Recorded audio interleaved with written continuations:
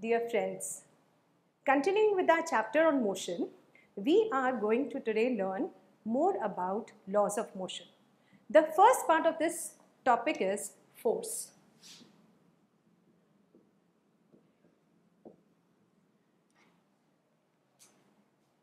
Last week we learned more about differentiating between rest and motion. What is rest versus what is motion? In your room, sitting in your room, you see a fan. If the fan is in off position, the blades are at its own place. But the moment I switch on, the blades move. So, whenever a body changes its position with respect to its surroundings, the body is said to be in motion. What was required for a body to be in motion? Force. Let's take one more example. Suppose we go to drop our visitor on the station. Borivali station, you all have come to see me off. I'm going home, hometown. So, the moment I get into the train, the train is at rest. I take my seat. You see me. It's at rest. So the teacher is at rest. The train is at rest.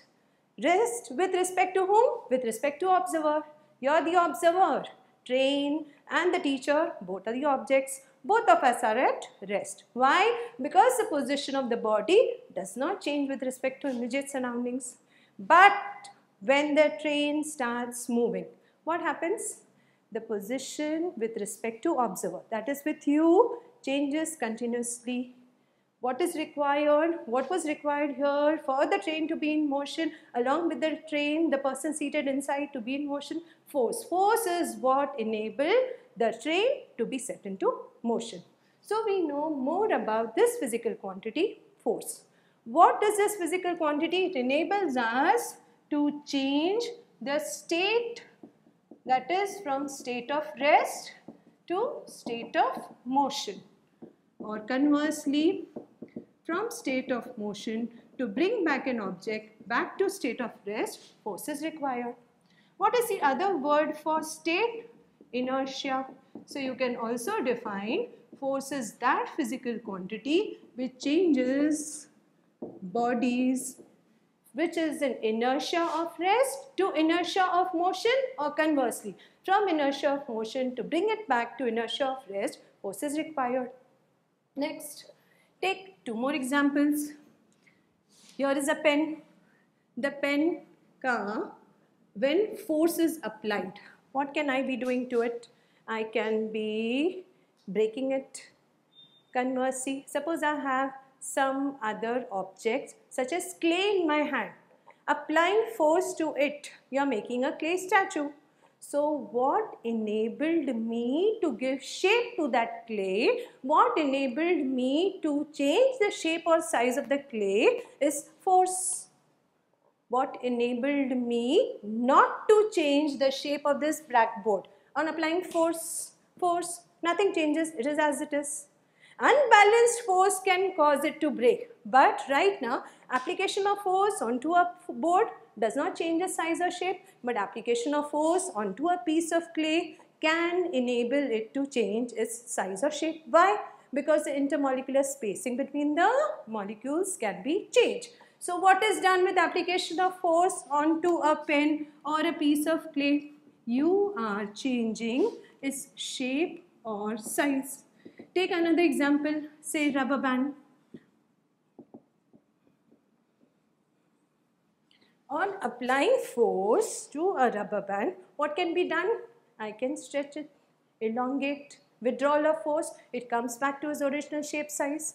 So, we say the rubber band or clay are non-rigid objects. Whereas pen or the blackboard, they fall under rigid objects.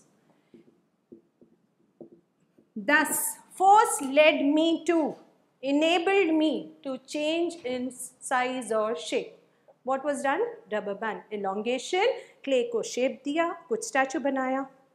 Thus, we define force as that physical quantity which can change either the state or can change size or shape of a body.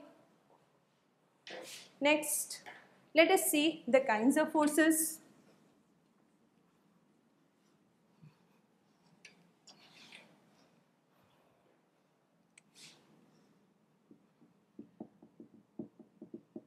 Contact force and the other kind of force that we learn is non-contact force. Force caused in a body. See the definition, this is the key word. The force caused in a body when the two bodies are in physical contact is called as contact force. Whereas the force experienced by bodies when not in physical contact is called as non-contact force. What do we mean by that? Take examples. First one. Suppose the book which is kept on this table. Which are the forces acting on it? Come on, tell me. Yes, the weight of the body acting vertically downwards.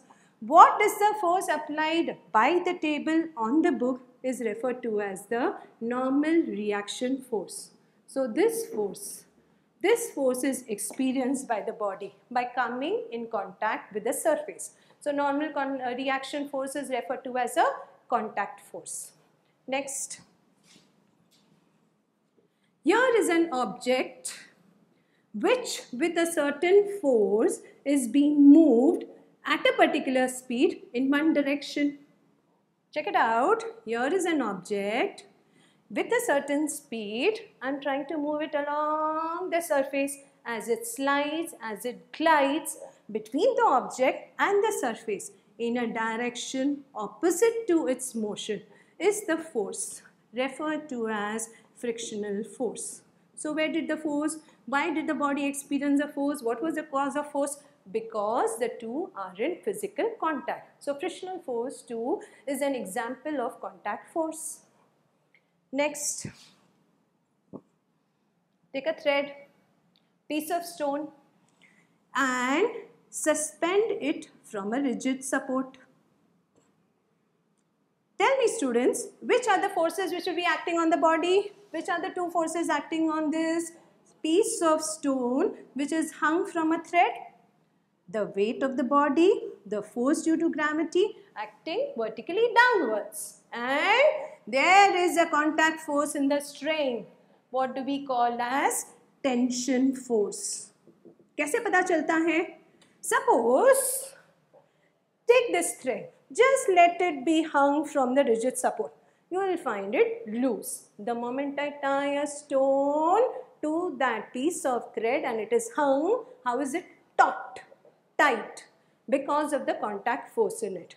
The moment if I were to just cut this thread, what would happen? The stone would fall down and there will be a force with which the string will be seen just little bit moving upwards. The tension in the force. What type of force is it? It too falls under contact force. Reaction force, the frictional force, the tension force. Let us see few more. Check it out. These two. Suppose there is this object marble and lightly I am trying to hit the other marble which is stationary. What will happen?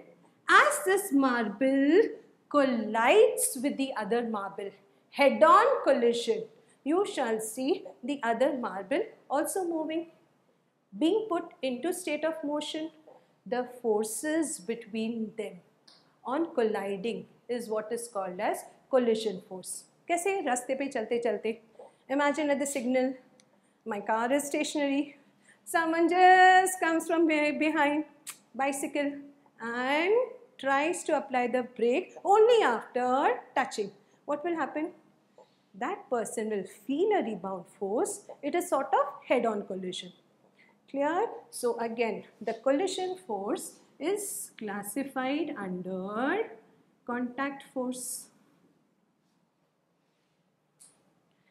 One more, let us take one more example. Here is a spring. Normal spring, pen में से निकाला हुआ spring. Where have I tied it? To a rigid support on the wall. wall, hook, spring. I am trying to apply a force to it. What kind of force? Pull. What am I trying to do? Trying to stretch the spring. Upon leaving, what will happen? Will the spring come back to its original size? Yes, it will come back to its original shape and size because of a force referred to as restoring force. Next, this force in the spring which brings it back to its original shape and size is referred to as force exerted experienced by the spring. So again a quick recap. Contact forces are those forces caused in a body due to physical contact namely reaction force, frictional force, tension force, collision force, force experienced by the spring.